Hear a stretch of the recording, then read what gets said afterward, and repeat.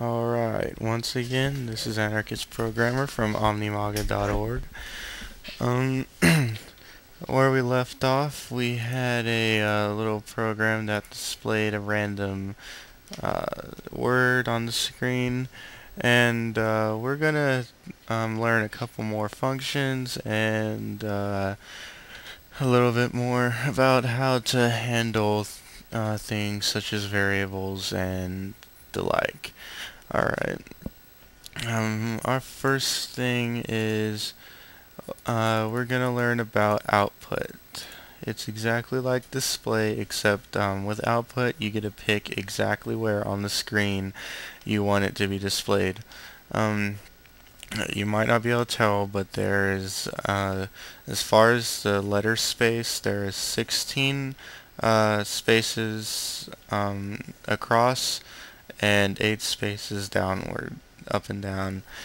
Um, for the output, uh, first you'll display how far down you want it, uh, 1, 2, 3, 4, and etc.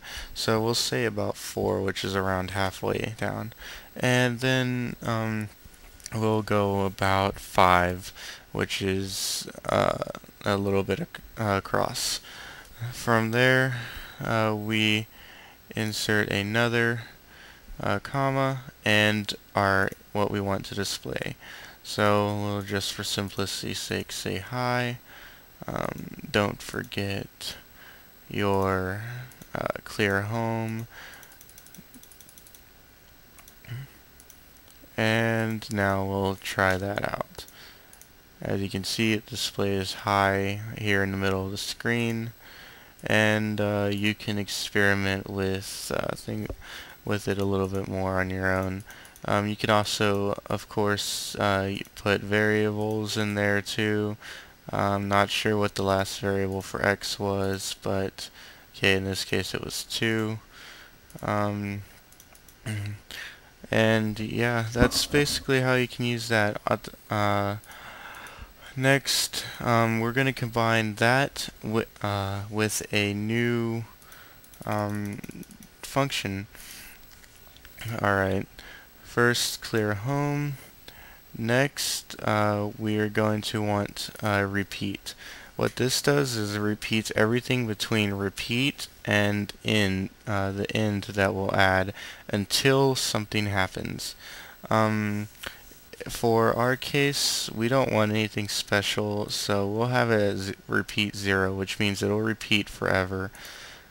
Um, so next, uh, we're going to add in um, a random integer. Uh, let's see, this one will be for uh, going across the uh, page, which will be in, uh, anywhere between 1 and 16. And we'll say that goes to, uh, we'll say that goes to y. Next, Ah, X, my fault. Next, we'll, we'll add another random integer. This time it goes from 1 to 8, and we'll go to y. Now, uh, we shall have an a uh, output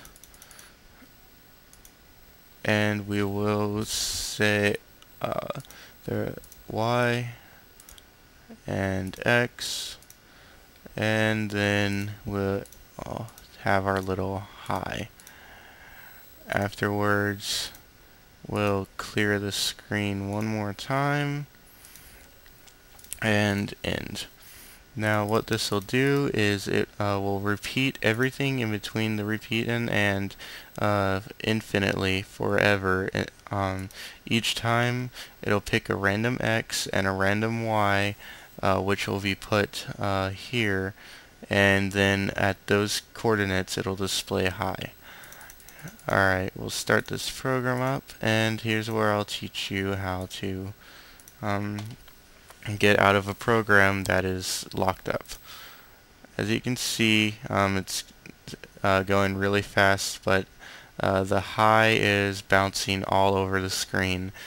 Um, now, there's no way to get out of this except uh, that you can hit the on button and it'll break you out of the program at any time. No matter what program it is and no matter where you are in it except in an input if I, as far as I remember. Um, it will break you out of the program and either you can hit go to and it'll go to the exact spot it stopped or quit um, for my case to get back in program quickly I'm just gonna hit go to.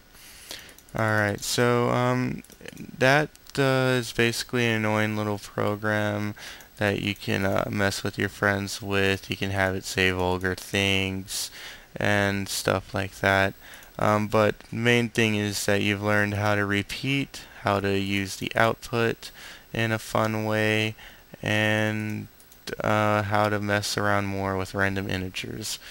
Believe me, it'll be helpful. We'll continue on a little bit more with in the next one, and hopefully that'll be the last tutorial uh, we need to cover, and, but I kind of doubt it due to these time restrictions.